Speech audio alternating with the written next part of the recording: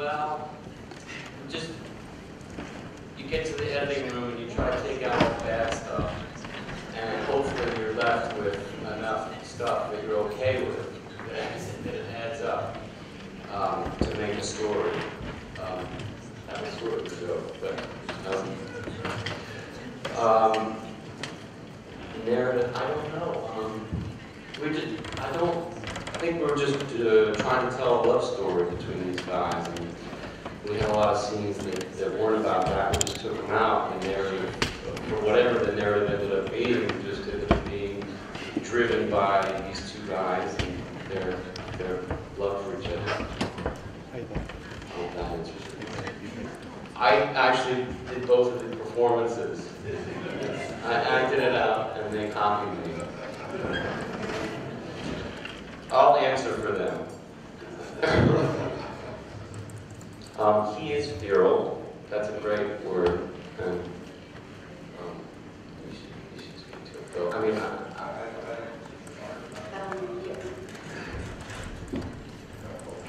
Um,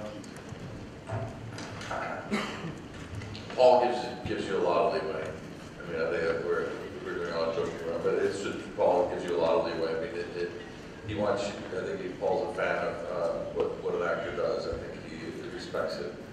And, uh, and I think he wants you to be responsible for it, you know, and it's- so it's a, it's a lot, it's a, it's an ongoing conversation from the beginning. You meet about it to the end of the, the film, you know, I mean, I think we still talk about it, you know, it's like, and you guys are watching it, you know, and, uh, that's, that's the pleasure, the conversation, and the camaraderie over the conversation, but the leeway that, you know, we have is, is up to us, you know, um, and hopefully it doesn't go out of the boundaries of what is being discussed, or, or what is, uh, Paul has written or has in his imagination, you know. But I think uh, Paul welcomes the new thing. I think anybody who's intelligent or has talent understands that where things are gonna come from a lot of different places. And so hopefully some of those things will come from the actors, but yeah, he's not, I don't think Paul's somebody who boxes you or anything. Paul has, described the, the, um, the film as a love story between Freddie and Lancaster Dodd. I'd like to ask both uh, Philip and Joaquin what it is of uh, Freddie that seduces uh, Lancaster Dodd, and what is it of Lancaster Dodd that seduces Freddie?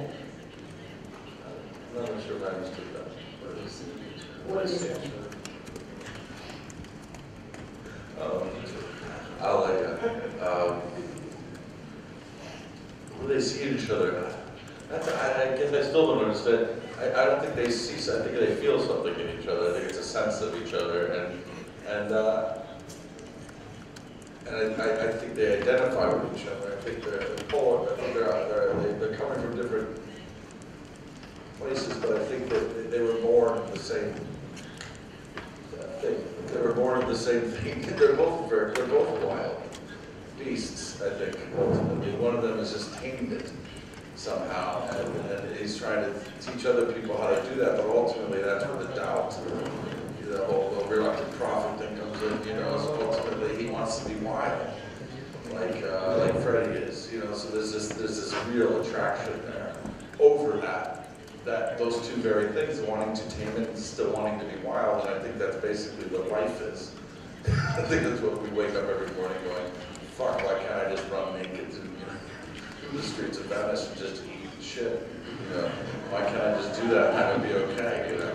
Is it possible that I can just have sex with everyone I see today? No, it can't, but, but I wish that was possible. So I think I'm gonna go find my master, he'll teach me how not to do that. Yeah, so. Uh, yeah, I mean, it, it, it, I, I, I have to say, every time I set out to write one of these things, I think they're going to be different than the last one, maybe it's kind of the same, you know, the relationship develops. But I, I looked at these guys not like father and son, they're more like, they're, they're, um, they're just kind of, uh, not even master and servant and all that, just like, just loves of, of loves like a more of a romance, like look, like look at the love of your life, you know. Kind of try to look at it like that, less than father son. thing. But it's great, it's great territory for a story, because these kinds of relationships ends up being a very, a kind of bottomless pit that you can keep going back to maybe. Hopefully provides good stuff, provides good stuff. Yeah, the role of the wife, well, we just talking about this before, is she the master? I mean, I, I think, yeah, I think, sure, yeah, she is. Um, But I don't know, um, it, it goes back and forth, I suppose, like any relationship, right? Who's on top, who's on the bottom, I don't know, that's a dance that goes on in a relationship, who's the master.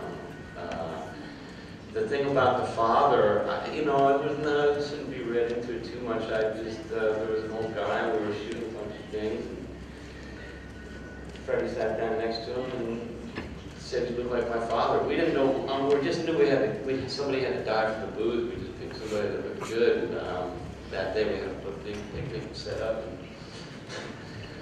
we really, the light was going down, honestly, and he looked great, this old, this old guy. So we just walked up and started talking to him. That, that's where that came from. Um, I'm sorry he had to die. But I looked on IMDb, he died like a hundred times in ER, that old guy. So- we thought we were the first to kill him, but it turns out we played a corpse a number of times.